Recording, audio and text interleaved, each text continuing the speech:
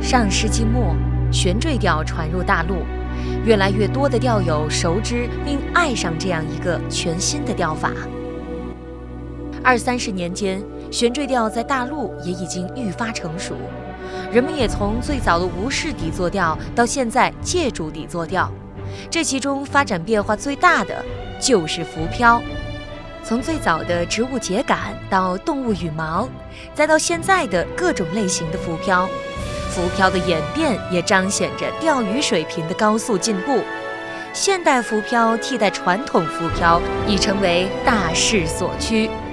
从任何一种轻而能浮在水上的物质啊，都可以当做浮漂。从无漂到有漂。浮漂的主体作用就是让钓鱼者在水面上知道鱼吃饵了，再把鱼钓上来。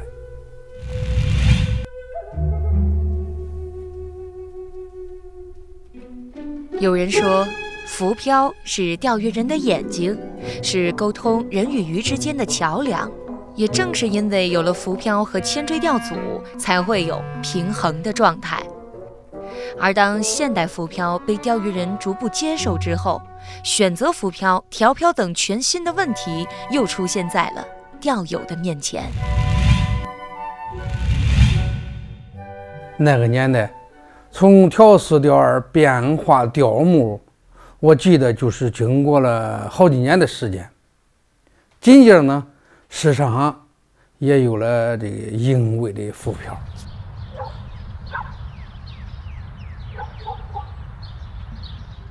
近年来，由于钓鱼技术的进步与发展，各种有针对鱼类的浮漂不断被开发创新。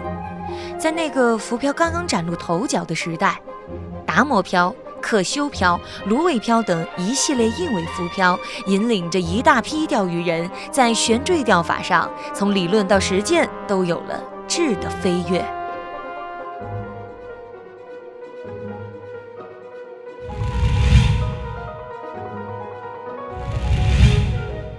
也就是这个阶段，各种对悬坠钓法的传说呀，呃，也是充满了这个钓鱼圈。有的吧，这个带着疑问；有不有的吧，他就说的很神话啊，这简简直是这个这个不可想象。尤其对浮漂有灵敏点这一说，那更是说的是活灵活现。大陆钓手刚刚接触悬坠钓之时，在被这种神奇钓法所吸引的同时，人们出现了争论。灵敏点、归零点等等一系列新鲜术语，随着悬坠钓的发展，在钓友当中蔓延开来。为了找一只灵敏点的浮漂，大家都说嘛，说这有只只要这只浮漂有灵敏点，那就非常好用。或者说是钓鱼好好使，所以我每天就在玻璃缸里啊试来试去。浮漂的灵敏点，顾名思义，就是浮漂最灵敏的位置。换言之，就是当鱼以相同力度吃饵时，浮漂动作最大的部位，就是我们要寻找浮漂上所谓的灵敏点。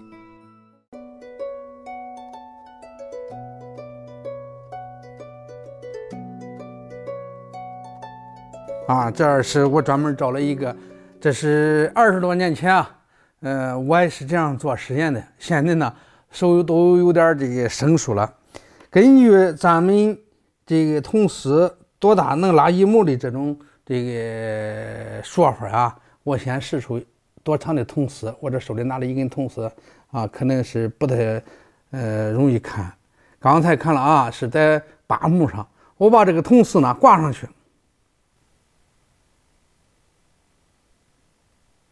嗯，漆木啊，就是吃的比较啊，比较这个少了，呃，还不啊，倒不太露黑疙这就说明这根铜丝呢长度差不多，咱们就以这根铜丝为标准，把它拿下来，剪这么长的这个铜丝做实验。灵敏点至今没有一个统一的解释，但在钓鱼圈，不少钓友对灵敏点深信不疑。觉得只有浮漂达到了灵敏点，做钓时浮漂信号才会最好的展示出来。一样大的铅皮，或者说同等长的铜丝，挂上以后拉下一目，啊，再挂上一根拉下一目，多一点少一点呢，这个都证明了不，呃，就说你或者一目多一点，或者不带够一目的时候啊，它就说明什么？还不行，这还不是灵敏点，必须得拉到什么程度啊？必须突然加了一根铜丝，到了一定的目数的时候，这一根铜丝呢？一下拉出来一目多，啊，这个多的比较多了，就说是一目半了啊，这个一目三四了，哦，说这就是灵敏点，所以我们呢就一直在这样试。咱现在开始挂，挂上第一根铜丝试验。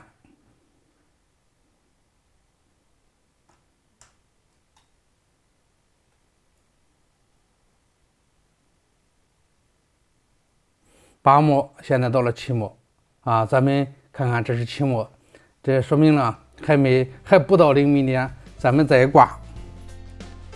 当把铜丝挂在浮漂上，加入铜丝后的浮漂浮力与铅坠的重力之间的平衡被打破，浮漂就会向下滑动。加入的铜丝越多，向下滑动越多。好，大家看了，刚才是五目刚下。现在呢，我加了一根铜丝，已经到了三目杠这个黑杠了。那么这说明了一个什么问题呢？我这一根铜丝经拉了啊，接近两目，同样大的一根铜丝就在这个浮漂各目上，原来是一根一根铜丝拉一目啊，一根铜丝拉一目，现在呢，一根铜丝拉一一拉了一目半。好。这就是我们传说当中也罢，时间经这个实际操作也罢的这个灵敏点。当浮漂下滑到四目到五目左右，此时加入的铜丝会将浮漂向下拉一目多，接近两目，而该目数也就是之前大家所认为的灵敏点。当我在怀疑的时候，在反复看漂的时候。那个脑子在动的时候呢，为什么这一格是红的？大家可以看看，这个红格就是比上边这个呃绿格和下边这个绿格啊都短了一块。所以当我看到这种现象，这一个红格比其他格目短的时候，它下拉到这个一目多一点的时候，那肯定是必然的了。但是那个时候我们只想突然拉下一目多啊。一点或者多更多一些的时候，这就是灵敏点，都迷糊在追求那个灵敏点上去了。这个灵敏点是一个不存在的事实。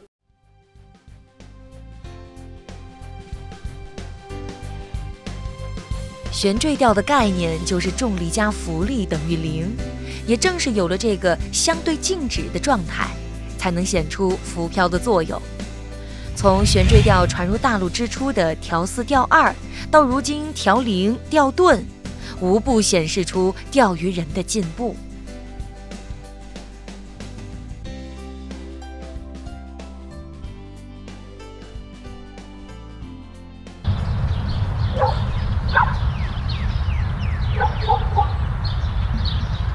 在外边到什么地方，就得说什么话。入乡随学，实际钓鱼也这样。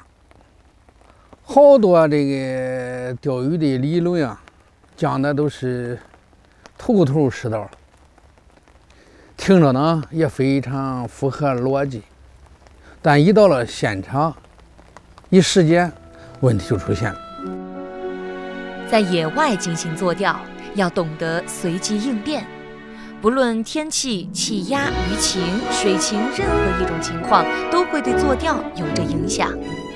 而且在浮漂的选择上，也要根据实际情况而定。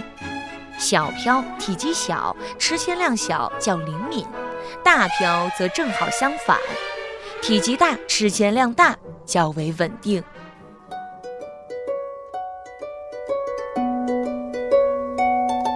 气压不高的时候，啊，水呀受到自然因素和人为因素干扰的时候呢，鱼都不爱开口。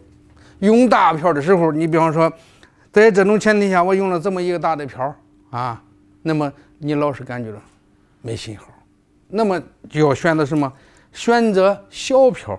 这个小小到什么程度？这个呢，还取决于咱们在现场的钓鱼人自己的那种对鱼情分析的感觉。如果说鱼疯狂吃啊，上鱼的速度呢特别快啊，下去就来，正常的水温。气压也正常，在这种条件下呢，这个或者说是有风有浪有走漂啊，就是走水，那么我们就要选择大一些或者相对比较大的漂。现代浮漂的多样化，给了钓鱼人越来越多的精细的选择。在浮漂上，钓鱼人也会根据选择不同的漂，面对不同的水域进行选择。但是，不论选择什么样的浮漂，怎样调整，其目的都是为了有更好的渔获。你看这个零，所谓的零吨是什么原因？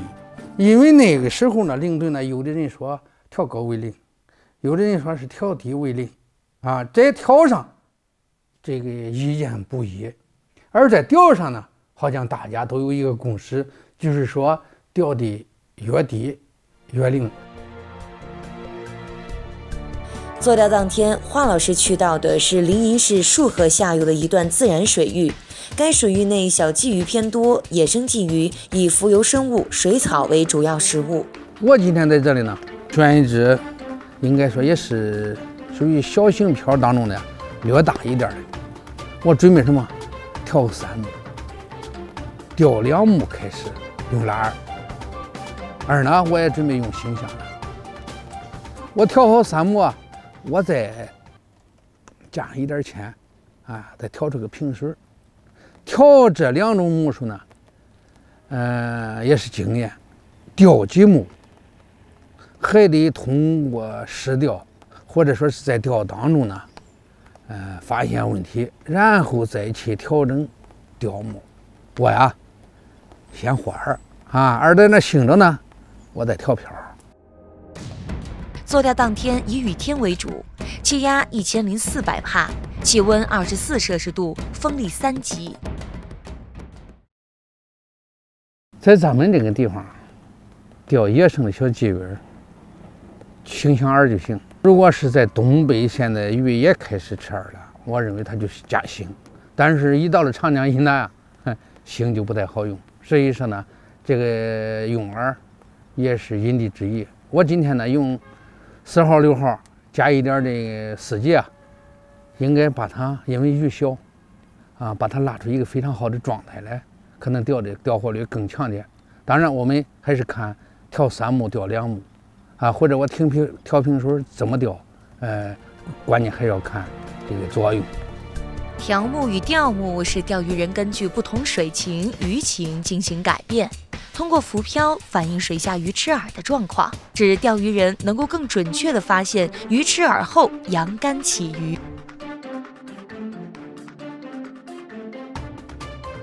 现实的钓法当中啊，并不是。说我调的这个调的越低越灵，这个和钓法运用是息息相关的。